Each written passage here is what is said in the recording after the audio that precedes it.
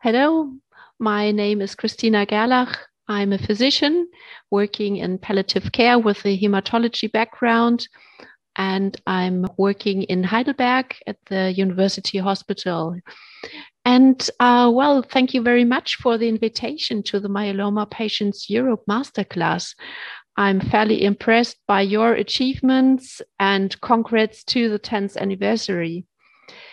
My special thanks go to Katie Joyner, who perfectly prepared me for the talk and discussion with you about palliative care in multiple myeloma. Well, multiple myeloma, it's a marathon rather than a sprint, and palliative care may be the right shoes for a good run. When I introduce myself to patients, I like to ask them if they know about the term palliative care. And I get answers from faces, from voices, from the atmosphere in the room about the perception of the concept rather than the term. Well, the aims for today will be you will know about that palliative care is more than end of life care you will be able to impute benefits of palliative care for people living with multiple myeloma and their families. You will be able to screen for complex symptoms and psychosocial and existential burden in patients with multiple myeloma. And you will be informed about work in service models and resources to implement own palliative care service for multiple myeloma, maybe in uh, your place. Um, please make some notes on what you like to ask uh, after the presentation, and I'm looking forward to our discussion. Um, I recently had the great opportunity to listen to Paul Richardson, who dedicated his professional life to care for multiple myeloma patients clinically and in research. He was actually the one who compared multiple myeloma with a marathon, which is not commonplace. And he explained multiple myeloma are multiple diseases and extraordinary complex. What does complex mean? It's like bringing men to the moon. I learned to compare complexity with a space shuttle mission. There is mission control, the, all the women and men who are specialists caring for the disease, the hematologists, nephrologists, radiotherapists, surgeons. There are the hidden figures, family and friends, those who are in the role of accompanying loved ones in difficult times. And there are the professional supporters responsible for the best possible quality of life with an incurable illness, preventing and preparing patients and families for crisis, be they symptoms, psychological or social stresses. I will now focus on the role of palliative care in this context what, why, when, and how. How? What is palliative care? Why do we apply, apply palliative care in multiple myeloma? When is the time for palliative care, and how is the performance of palliative care in multiple myeloma? So, what is palliative care? I would like to read out for you the WHO definition, or maybe I just leave a few seconds so you can read yourself.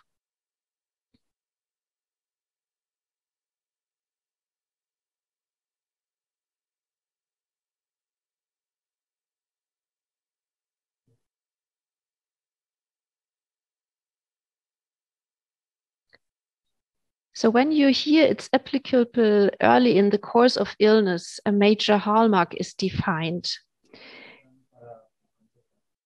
Of course, palliative care includes end of life care when time has come, but it is so much more an additional layer of care mitigating symptoms and psychosocial burden in all phases of illness it's a type of therapy following guidelines that focus on the individual.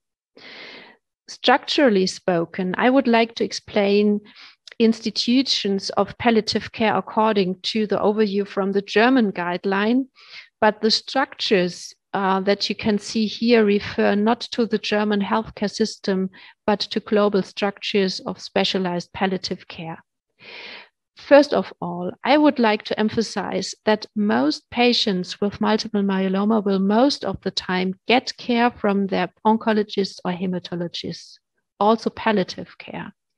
This is on the left hand of the figure. I think you know well about general inpatient and outpatient clinics. But in some cases, it makes sense to have specialized palliative care in place. This may be um, selective counseling, for example, for pain control and advanced care planning in the outpatient clinic or inpatient care for complex symptoms, not so infrequently at the beginning of a treatment when patients are in pain, for example, or are worried about the future.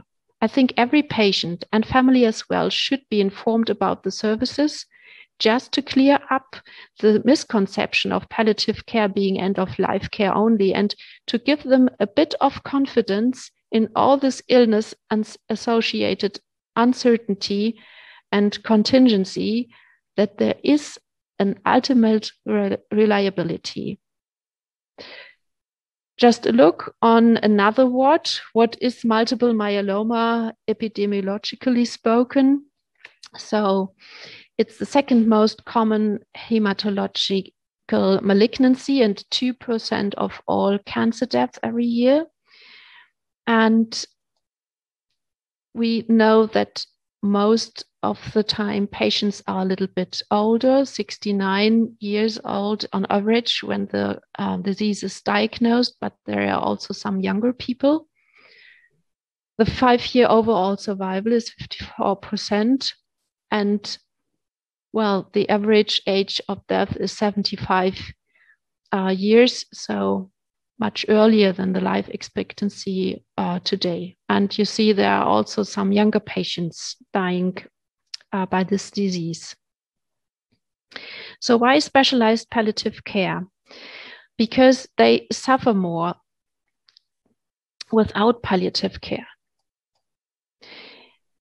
These are some of our own data from a feasibility study of uh, screening. You may recognize the distress thermometer, thermometer with uh, zero meaning no distress and 10 uh, meaning heaviest burden. Blue are patients with organ tumors, and red is the burden indicated by patients with hematological malignancies. If the distress level is above four, patients probably need professional intervention. Well, you can see that hematology patients um, have a lot of burden. And in fact, we only confirmed what others already found. And further, and one of the distressing fact, factors is the prognostic uncertainty that patients, family, and doctors have to deal with in multiple myeloma. This is a study from the US from 2003 describing patterns of decline at the end of life actually the last uh, year of life, and patients with different groups of illness were repeatedly interviewed regarding their dependency in activities of daily life, which is an established concept in patient care in general. And I asked hemato-oncologists where to put patients with multiple myeloma they found um, their course of illness comparable to chronic organ failure, but a little bit better as recovery could be achieved with new therapies in many cases. So, to come back to the complexity picture in the space shuttle,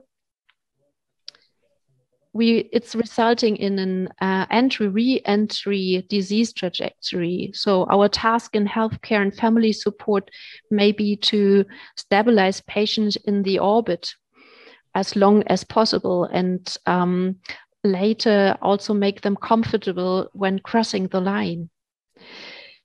So why making them comfortable? Because there is a lot of disease a lot of uneasiness we can talk about the multiple myeloma as a bone disease, and we have a agenda of suffering, bone pain, peripheral neuropathy by the um, um, therapies, um, post-surgery neuralgia, renal insufficiency, myosin suppression, um, going with weakness, fatigue, infections, bleeding, venous thromboembolic um, events, the inevitability of recurrence. So patients know that there will be a recurrence, even if um, they have a cure for a while. And I mean all the dimensions of a shortened life. And I mean the agenda of palliative care, not to, um, yeah, it's not hospice care, but it's the palliation, the symptom management, bringing relief, coping with disease, the social counseling, coordination and help with organization in the disease, and also the support of informal caregivers, advanced care planning to be prepared, and well, finally, also end of life care. In terms of advanced care planning and end of life care, we say hope for the best, prepare for the worst. We currently seem to have a problem with conveying the correct message. I would like to show you this study analyzing all the patients' understanding of therapy risk and benefits. It's quite a complicated picture, but under the bottom line, the figures mean the patients um, had, after goals of care discussions, an overestimate of both the risk of therapy, related morbidity and mortality, as well as the chance of cure. I don't think it's bad performance in communication in all cases. It may be a way of coping of the patients may better deal with high risk is expecting high chances for cure. I only know what it is and we have to deal with it. So when is the best time to start with palliative care in uncertain situations? I will show you some models of care.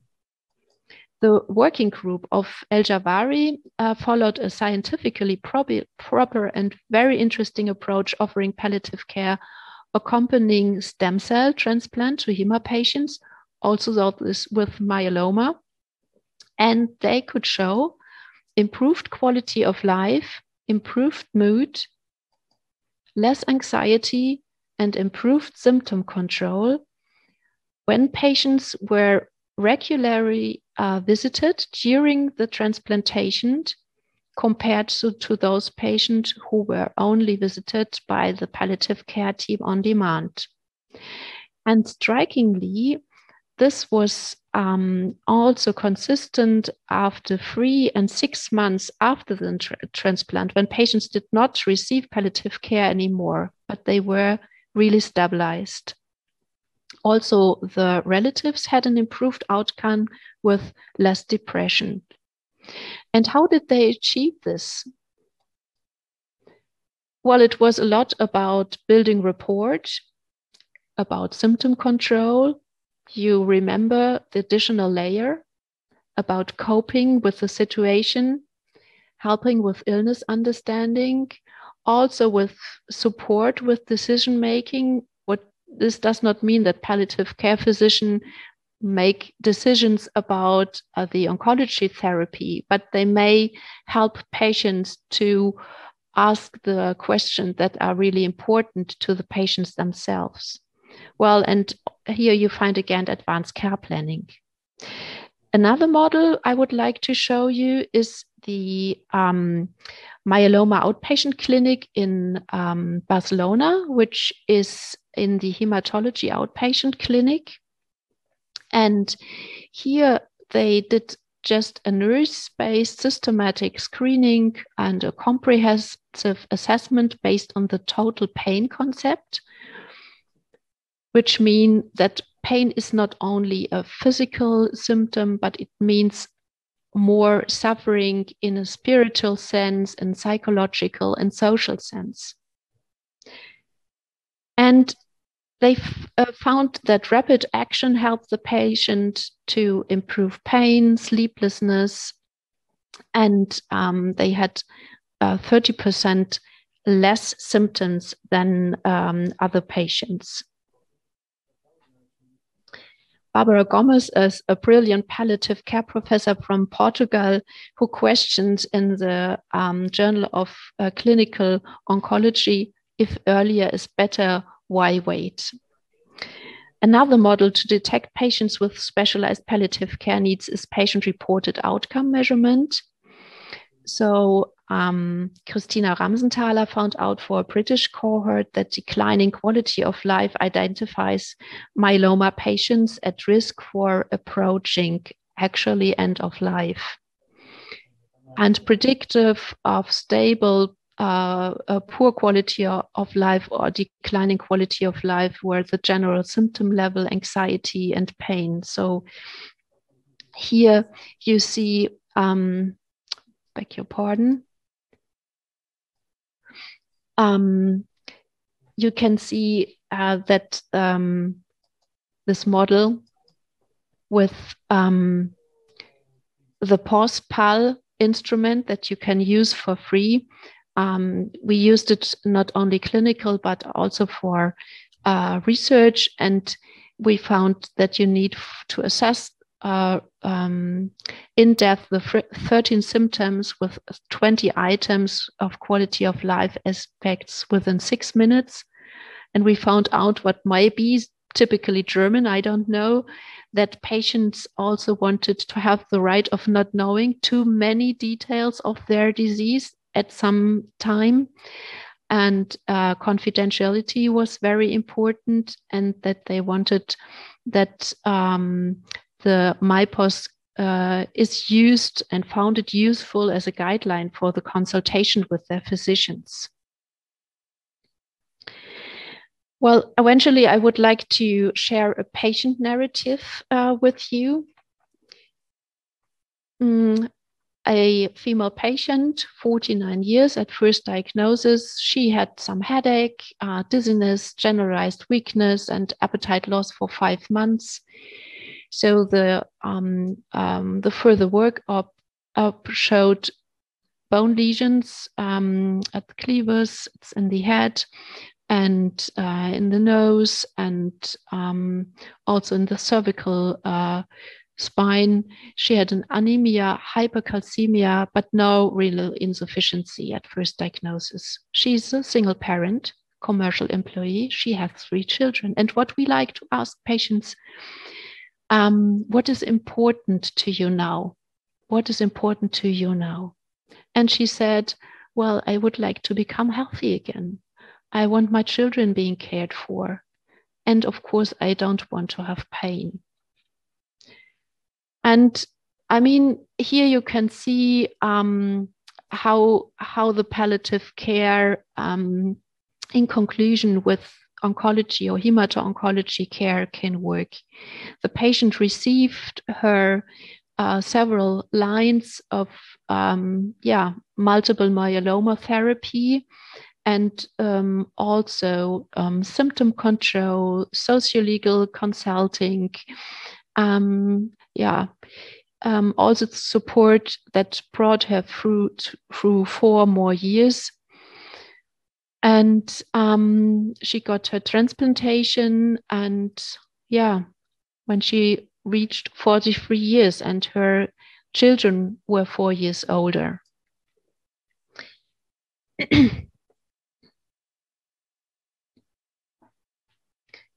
that palliative care in myeloma can take place at any phase of illness.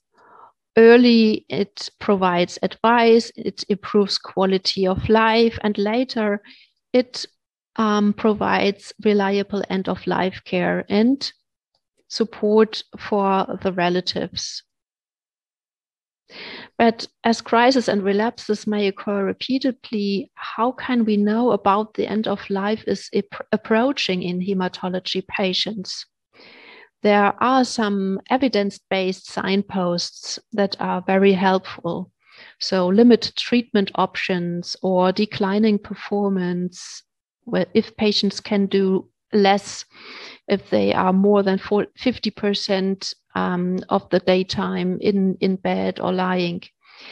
Um, uh, persistent bacterial and viral infections, invasive mycosis, or recurrent refract- refractory malignancy. And of course, as there are often uh, older patients, uh, more than two comorbidities.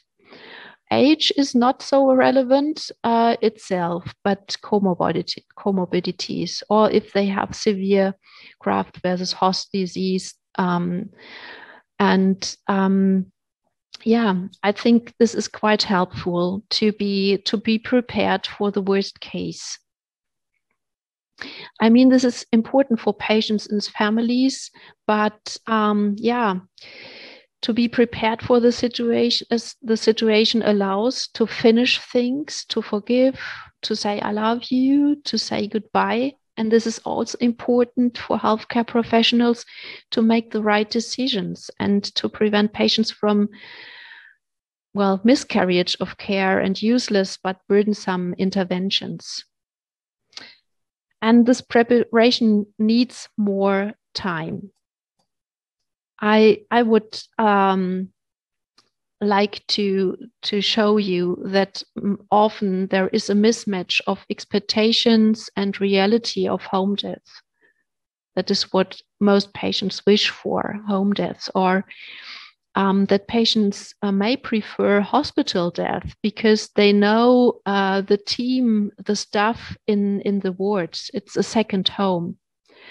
And what is very difficult um, uh, as well as that uh, hospices do not provide transfusion and um, that um, um, hospice care may be overstrained with bleeding management at home.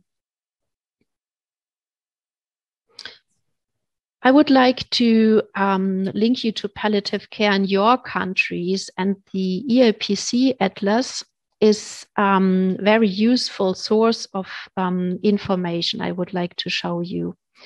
Fortunately, many European countries provide good quality of care, but unfortunately, some do not. You see the red um, dots, which is the total population in the countries, and you say the yellow dots, which is palliative care. The size of the red and the yellow spots should be the same, but you see it's not Access for myeloma patients to palliative uh, care needs uh, facilitators nearly everywhere, as misperceptions of the concept of palliative care are common in hemato-oncology, but also palliative care services need to adapt their performance to the needs and demand of myeloma patients and their families.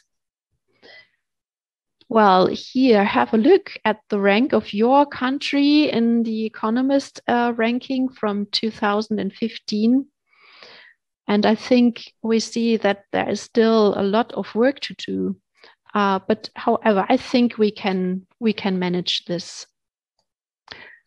Well, I hope I could uh, convey a little bit that uh, palliative care is much more than end of life care, that it is very important to start early because myeloma patients have a lot of burden that can be mitigated by palliative care. And um, that I could uh, show you some interesting models um, or even just the screening and assessment uh, to be a start for better care for myeloma patients. Thank you very much.